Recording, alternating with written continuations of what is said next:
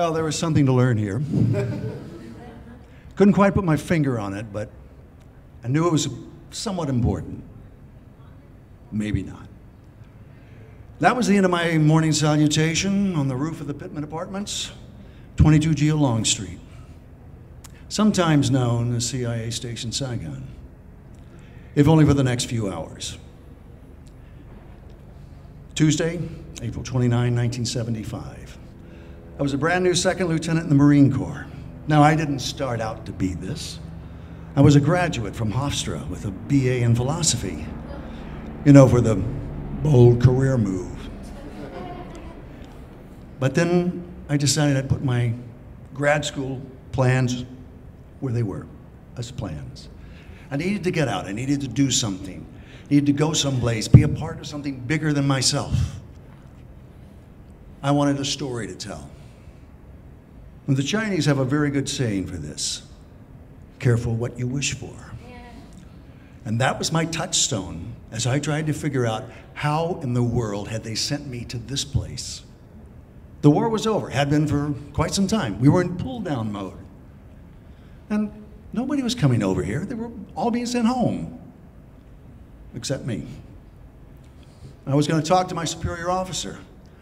And now, as a Marine, you don't cry, you don't whine, you don't complain, you just do. So we were going to do a conversation. He looked at me and he said, Lieutenant, the Corps does not make mistakes. Buck up. All right. With that in mind, I found myself in the center, the epicenter of madness, with a strong undercurrent of panic and was covered over very thinly with this outbreak of sporadic gunfire from time to time, and then ever so often an artillery round would come whistling in over our heads. But other than that, it was hot, humid, and it smelled. My official title was liaison officer, which tells you everything and then absolutely nothing about what I did. Company policy. I was never in uniform because, son, Charlie's out there with scopes, good ones. And an officer, an American officer, is a high value target. Now that starts your day, right?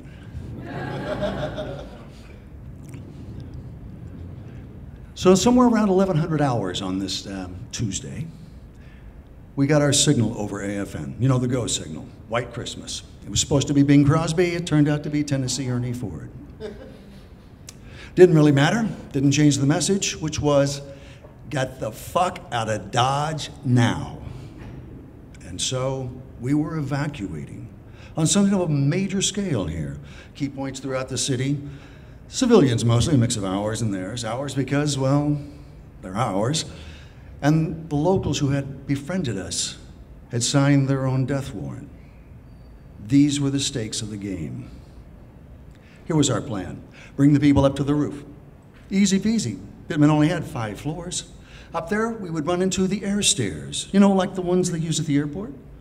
In fact, these were the ones they used at the airport, only they weren't using them. We had a need. We left a note. The first set would send you up over the, the roof of the penthouse. Trust me, it was just a big, ugly room. The next set of stairs took you up to the top of the elevator housing, a structure roughly the size of a shed, on top of which provided we had done the proper homework, would be an Air America helicopter to whisk you away to safety. We had 20 in service this day, and we would need them all.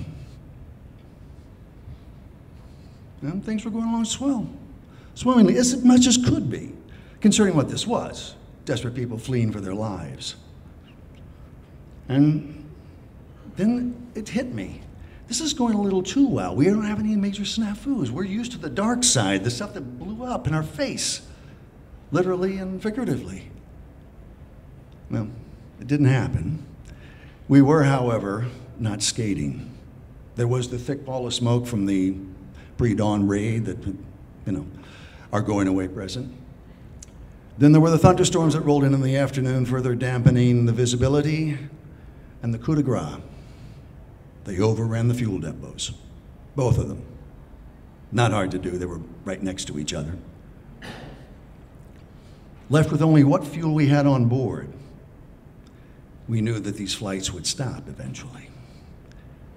It was a long and grueling day. Somewhere around 2200, the last chopper to leave our station touched down on the deck of the Midway, one of the carriers in the fleet of the 7th Fleet out there in the South China Sea.